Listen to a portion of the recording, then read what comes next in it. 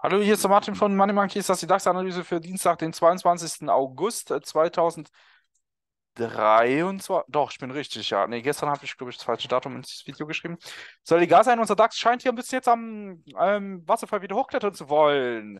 Dein Idiot. Aber ich muss ganz ehrlich sagen, wir haben uns gestern drüber, wir haben gestern drüber gesprochen, wie sowas aussieht im DAX, wenn er sowas macht.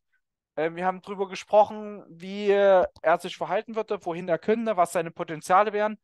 Und wenn wir uns das einfach nochmal vor Augen halten, oder um es kurz zu fassen, ich hatte gesagt, wenn er, wenn er Doppelboden anspielen will, dann drüber über die 650 und dann aber Randale. Ja, dann über 700 klar drüber, rein in 87, 800, wenn nicht sogar 59 zum Montag schon.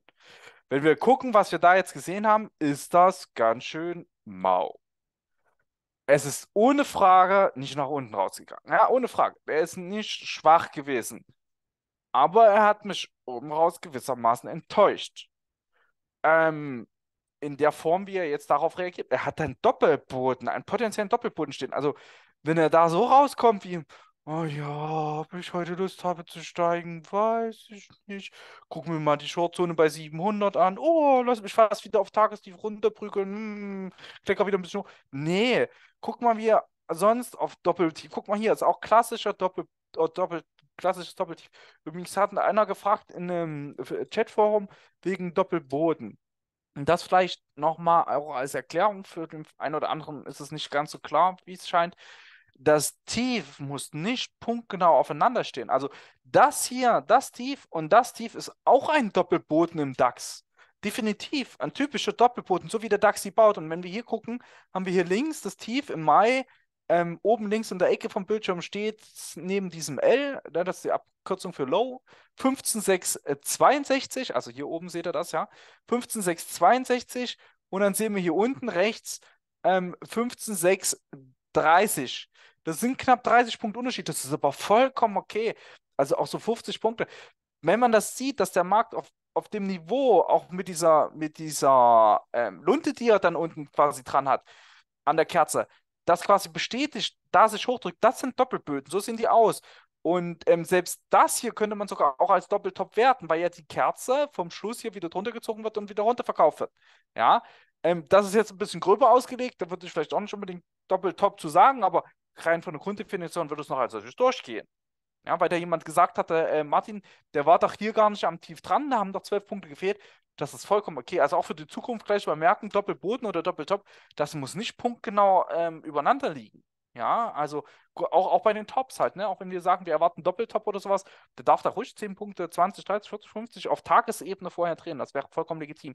Aber wenn wir jetzt hier mal gucken, wie hat er auf den Doppelboden reagiert? Grüne Kerze, volle Pulle durch, nächsten Tag Aufwärtsgelb, volle Pulle durch und die komplette vorherige Abwärtsbewegung ausgekontert. Das ist so ein bisschen das, was ich auch beschrieben habe. Wieder hoch bis hierher. Es ist etwa das gleiche. Hier sehen wir, wie hat er das gemacht. Er hat es super gemacht. Wie sehen wir hier? Hier ist jetzt nicht unbedingt ein Doppelboden, aber ein neues Tief, was direkt angekontert wurde. Ja, hier hatte unten auch eine Umkehrkerze gestellt und zack, zack, zack, wusch, war er zurück. Ah also die Kerze ist dann quasi die, die schon mal. Das hier, war, ich weiß nicht, ich, mir ist das zu, zu schlecht. Also, ich habe auch im letzten Update geschrieben ähm, an unsere Premium-Leute, den Tagesschluss oberhalb von 6,50 fände ich kritisch für den Dienstag. Ähm, oder was heißt kritisch für den Dienstag? Der, der Tagesschluss über 6,50 deutlich über 650 würde für mich implizieren, dass er nochmal versucht, die 700 anzulaufen am Dienstag. Wenn er aber unter 650 schießt, allerdings habe ich nicht gewollt, dass er genau auf 650 schießt, also 648 ist genau auf 650, die 1,12 Punkte, die da, die da fehlen, das ist ein Tagesschluss auf 650, das darf man hier aufrunden. Ähm, wäre der jetzt bei 620 gewesen, hätte ich gesagt, komm, go, Feuer, unten raus, der macht nochmal ein neues Tiefrunner, der holt uns die äh, 200-Tage-Linie jetzt am Dienstag. Aber das ist, das ist so richtig zwischen den Stühlen abgeparkt, weil die 650 ist ja wichtig. Das ist das Vortageshoch gewesen. Und wenn wir jetzt mal ganz genau hingucken, war das ja nicht bei 650, ich habe nur aufgerundet. Das war hier auch bei 15, 6, 48, 16. Ihr seht es oben links. Da, ja, guckt nochmal hin. Das Tageshoch hier. Und das ist jetzt unser Tagesschluss. Das heißt, er hat exakt auf dem Tagesschluss vom Vortag geparkt. Boah, das ist so richtig kann alles, kann nichts. Habe ich auch gerade im Chat geschrieben, das hat er extra gemacht, um mich zu ärgern, weil dann die Analyse wieder länger wird, weil ich jetzt oben und unten mir wieder den Mund fusselig reden muss. Aber wir gehen mal auf zwei Stunden runter. Wir hatten am, könnt ihr euch erinnern, am Donnerstag gesagt, mir würde nicht gefallen, wenn der DAX am Freitag auf die 200-Tage-Linie zuläuft. Mir würde auch nicht gefallen, wenn am Montag, ich würde es eher für einen Dienstag erwarten. So, jetzt haben wir was gesehen. Wir haben jetzt gesehen, dass er am Freitag schon mal unten geschnüffelt hat. Der hat unten die letzte Marke abgearbeitet, das war die 460. Die ist jetzt weich, das heißt, die wird beim nächsten Kontakt bestimmt dann auch nachgeben. Ähm, auch wenn nicht direkt. Aber sie ist jetzt weich. Ne? Und wenn unser DAX jetzt zum Dienstag wirklich abkippen sollte, dafür brauche ich aber bitte auch ein zügiges Unterbieten von 630, idealerweise auch von 600. Ein zügiges Unterbieten von 630 und 600, vielleicht per Stundenschluss von 8 zu 9 oder von 9 zu 10. Würde mir hier schon reichen als Signalgeber, dass wir nochmal unten unter, den, unter das ähm, Montagstief drunter schrubben. Neues Wochentief generieren.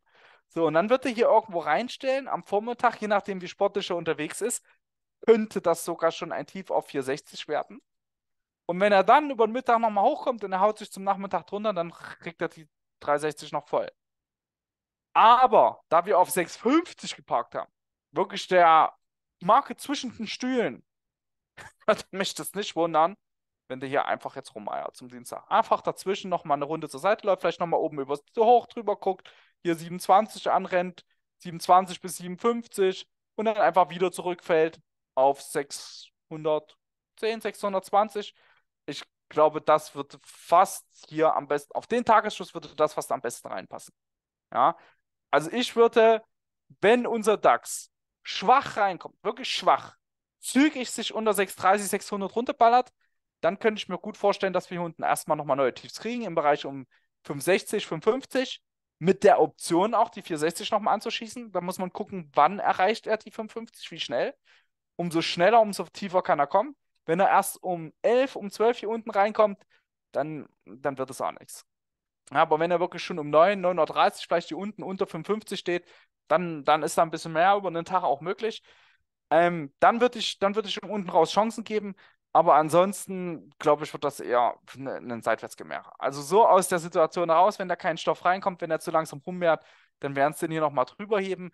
Ähm, 27 bis 57 wahrscheinlich von dort auch wieder nach unten wegdrehen. Nochmal wegdrehen. Wir haben auch hier noch, also das geht ja dann weiter, wir haben 87, 800 ist auch nochmal eine richtige Passion. Ja, er würde dann von hier oben wahrscheinlich runterdrehen und dann wahrscheinlich zum Mittwoch die ganze Chose nochmal machen und erst zum Donnerstag dann nochmal rumzaubern. Aber das sieht für mich jetzt ein bisschen seitwärts aus.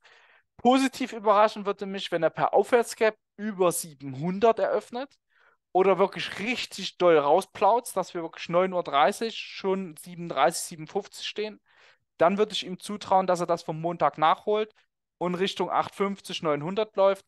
Aber so mit dem Tagesschluss, das sieht so ein bisschen nach Arbeitsverweigerung aus. Ja, würde mich nicht wundern, wenn das ein Seitwärtstag wird. Na? Ich denke, kriegt er wirklich nur aufgeberstet, wenn er am Anfang gleich Tempo reinlegt. Ansonsten sollten die Ziele unten klar sein, wenn wir Schwäche sehen. Ja, also gerade so die 550, 560, guck da mal hin. Das, das würde jetzt gut reinpassen. Hier mal reinstechen, wieder zurück.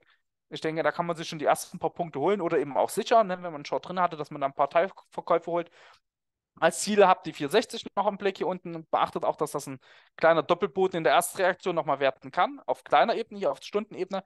Und unten die 360, die 200-Tag-Linie, die habt bitte auch im Blick, wenn es weiter runter geht. Ja. Und ähm, wenn wir oben rausgehen, rechnet mal einfach damit, dass wir 27, 57 nochmal rumhampeln. Ähm, spätestens aber 87, 800 auch nochmal einen auf die Nase kriegen würden.